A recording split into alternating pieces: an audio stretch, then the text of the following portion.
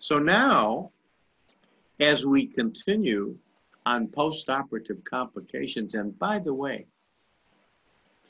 as I told you in the very beginning of this lecture, if you are the surgeon or you are taking care of that surgical patient, it is your responsibility to evaluate that patient postoperatively.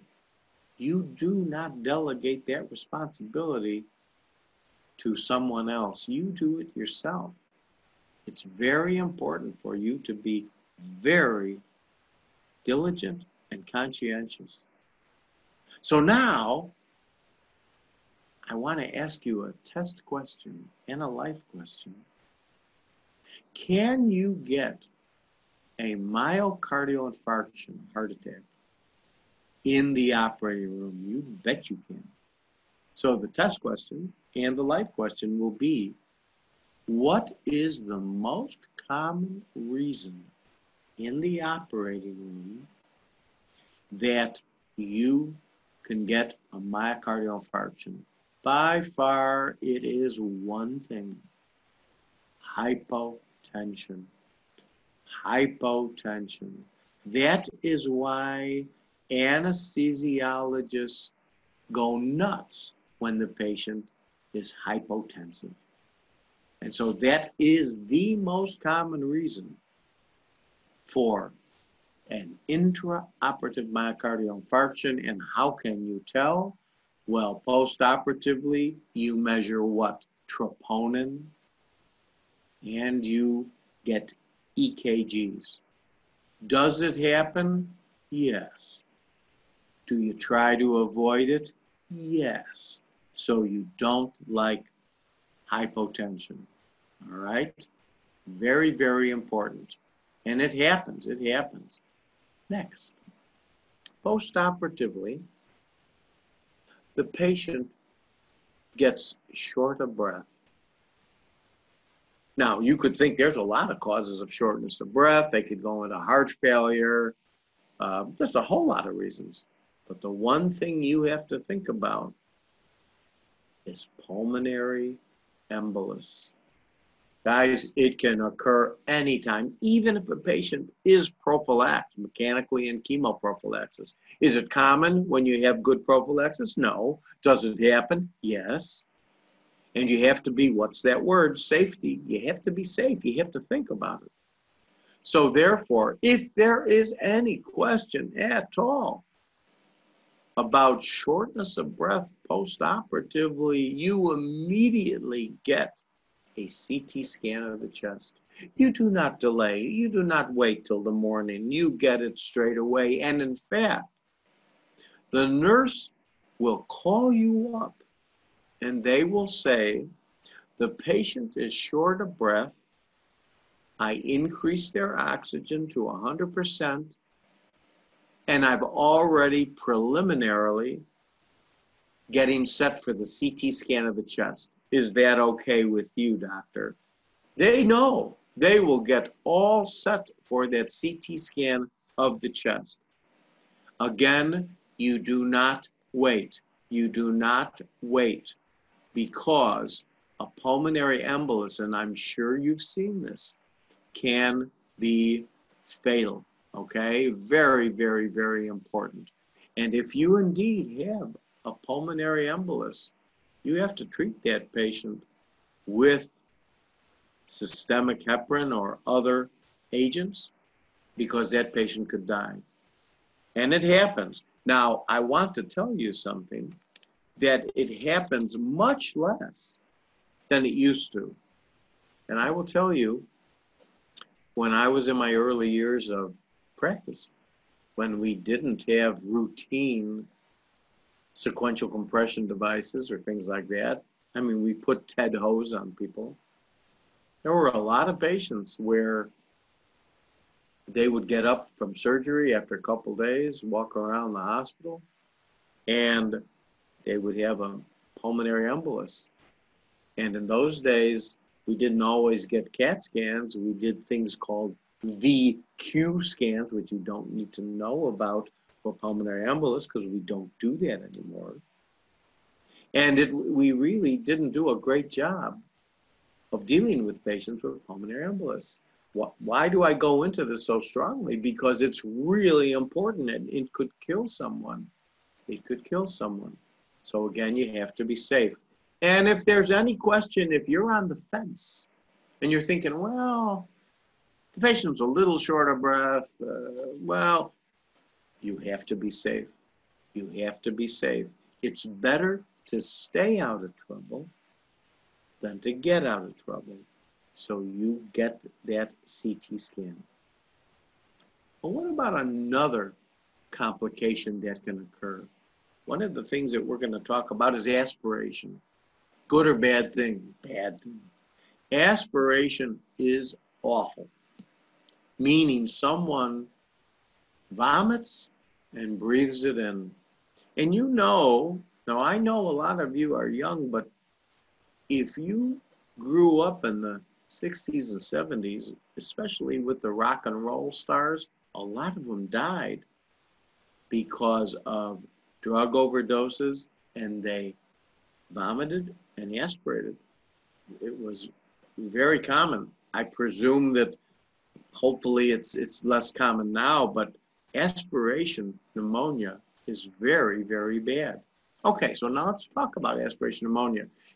That's why anesthesiologists, when they intubate the patient, they, they protect that patient's airway. They make sure that patient hasn't eaten or had anything to drink for uh, eight hours.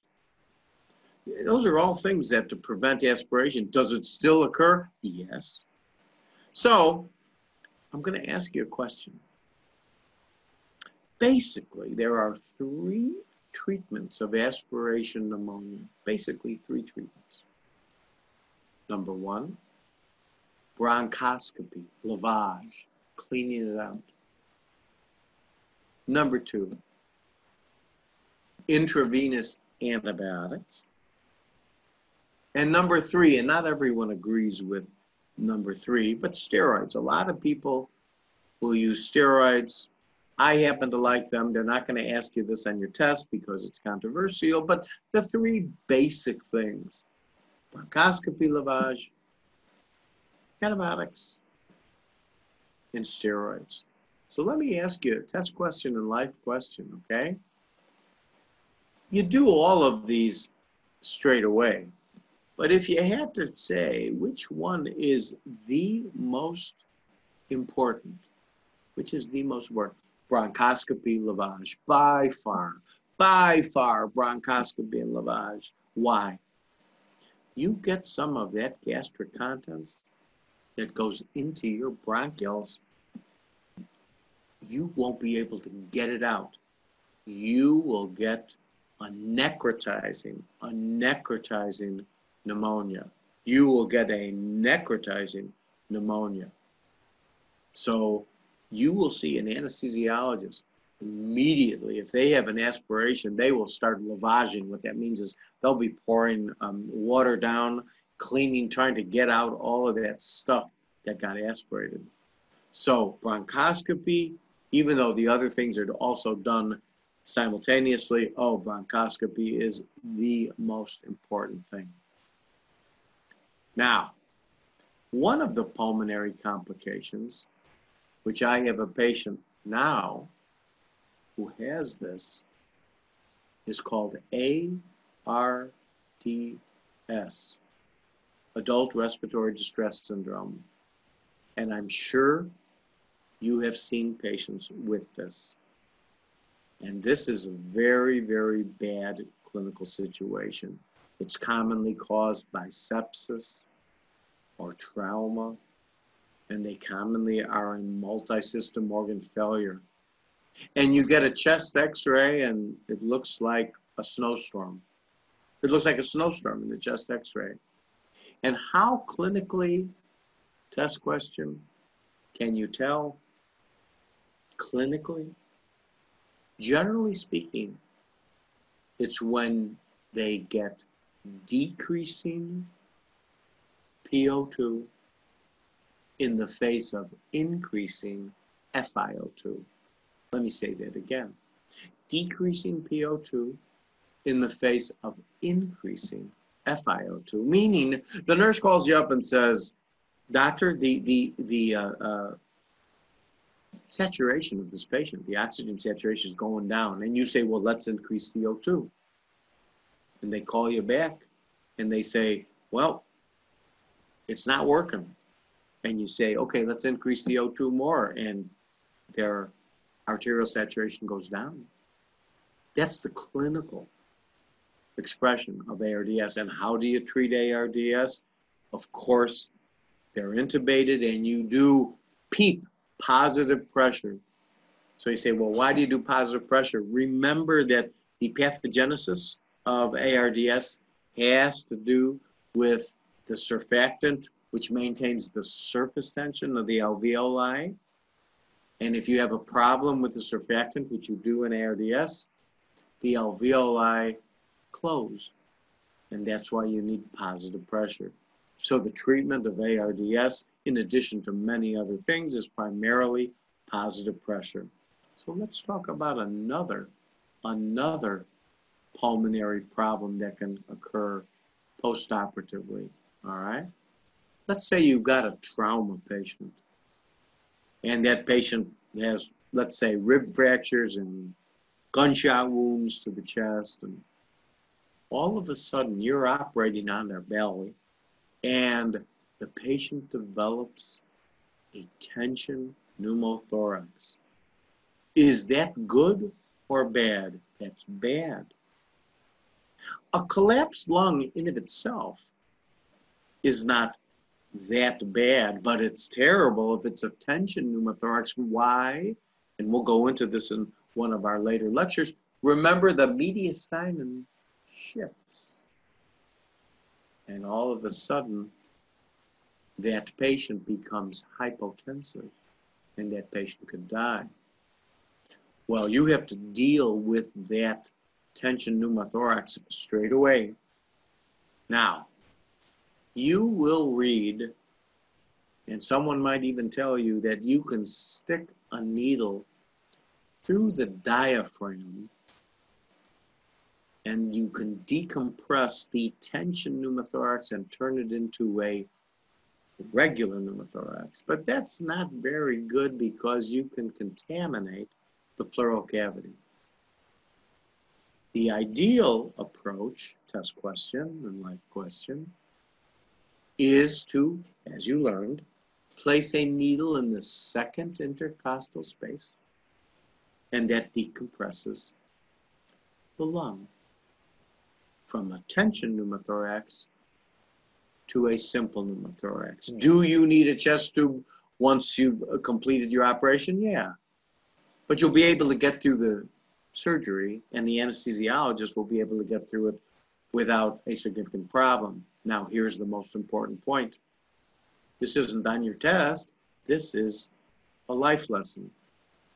Not every anesthesiologist is comfortable putting a needle in the second intercostal space. So what you do if you're operating you be a gentleman and a gentlewoman, and you ask the anesthesiologist, would you like some assistance? And many times they will say, yes, thank you.